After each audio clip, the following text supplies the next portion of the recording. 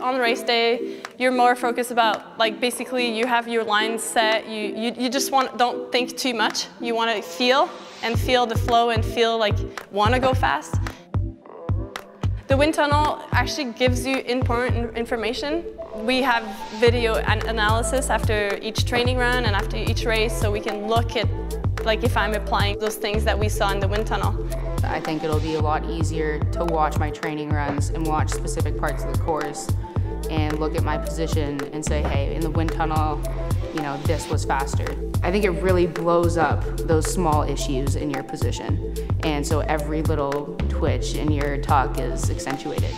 From gloves to, to goggles to helmets, every little thing counts and matters. And for us to be able to be here and, and test that out in the wind tunnel is, is just a leg up. Testing out positions and if you find one that work and being able to translate them onto snow. I'll be able to memorize the positions that are faster and carry that with me my whole career.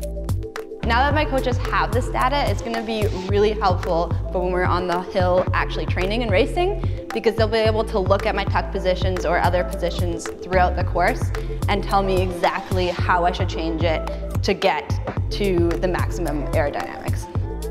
You know, we're trying to figure out how to get tenths of a second, but with this kind of facility and this access, you can shave off seconds. It's always gonna be in the back of my mind, trying to make those adjustments, trying to be faster, just trying to be closer to, you know, the fastest time I can make. You know, every little bit counts, whether it's how fast your skis are, how fast your suit is, it all adds up to getting medals.